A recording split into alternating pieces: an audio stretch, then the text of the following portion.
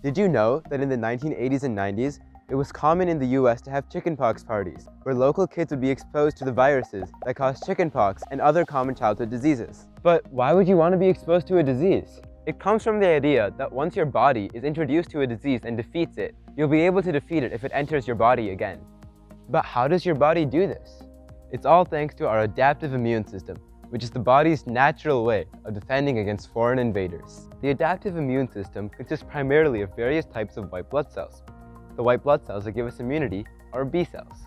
You see, all cells have identifying markers on them called antigens. When a B cell is exposed to foreign antigens, it can develop an antibody and mature into a memory B cell. Once the invader is defeated, memory B cells stay dormant for a long, long time, holding on to those antibodies until a matching antigen enters the body again.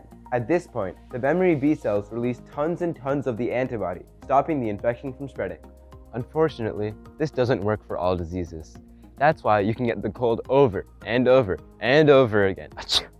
What if I told you there was a different way to develop immunity? One which doesn't involve our immune system at all. It involves a bacterial enzyme called CRISPR-Cas13. You've probably heard of CRISPR-Cas9, a similar enzyme which took the world by storm with the opportunities it unveiled for genomic editing, since it essentially allowed scientists to cut and paste genetic information, as well as turn entire sections of DNA on or off. CRISPR has been hypothesized to be the bacterial defense mechanism against viral infection, and researchers have figured out how to use CRISPR to stop and prevent viral infections in humans too.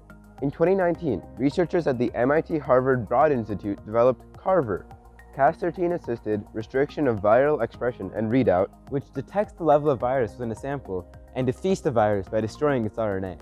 It does this by looking for RNA complementary to the sequence programmed into the CRISPR-Cas13 enzyme, and then chopping up the RNA at those points, preventing the virus from utilizing its genetic information to replicate, effectively stopping the virus in its tracks. Furthermore, in April 2020, Stanford researchers unveiled Pac-Man. No, not that Pac-Man, prophylactic antiviral CRISPR in human cells.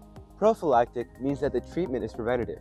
That is, Pac-Man's CRISPR-Cas13 enzyme stays within the body, and kills viruses whenever it detects a complementary strand of viral RNA, stopping an infection before it can even start.